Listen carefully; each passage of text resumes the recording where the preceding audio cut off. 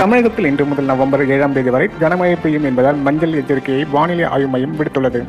தமிழகத்தில் வடகிழக்கு பருவமழை தீவிரமாக உள்ளது. தமிழகத்தில் பெரும்பாலான இடங்களிலும் காரைக்கால் புதுவையிலும் மழை பெய்துள்ளது. தென் தமிழகம் மற்றும் அதனை சுற்றியுள்ள பகுதிகளில் ஒரு வளிமண்டல மேலடுக்கு சுழற்சி நிலவி வருகிறது. இதனால் இன்று தமிழகம் புதுவை மற்றும் காரைக்கால் பகுதிகளில் அநேக இடங்களில் இடி மின்னலுடன் கூடிய லேசானது முதல் மிதமான மழை பெய்யக்கூடும். நீலகிரி ஈரோடு சேலம் தருமபுரி கிருஷ்ணகிரி திருப்பத்தூர் கோவை திருப்பூர் தேனி மற்றும் திண்டுக்கல் ஆகிய மாவட்டங்களில் ஓரிரு இடங்களில் கனமழை பெய்ய வாய்ப்புள்ளது. நாளை தமிழகம் புதுவை மற்றும் காரைக்கால் பகுதிகளில் அநேக இடங்களில் இடி மின்னலுடன் கூடிய லேசானது முதல் மிதமான மழை பெய்யக்கூடும். நீலகிரி கோவை திருப்பூர் திண்டுக்கல் ஈரோடு சேலம் தருமபுரி கிருஷ்ணகிரி திருப்பத்தூர் தேனி மதுரை விருதுநகர் மற்றும் வேலூர் மாவட்டங்களில் ஓரிரு இடங்களில் கனமழை பெய்ய வாய்ப்புள்ளது. வரும் ஏழாம் தேதி தமிழகம் புதுவை மற்றும் காரைக்கால் பகுதிகளில் ஒரு சில இடங்களில் இடி மின்னலுடன் கூடிய லேசானது முதல் மிதமான மழை பெய்யக்கூடும்.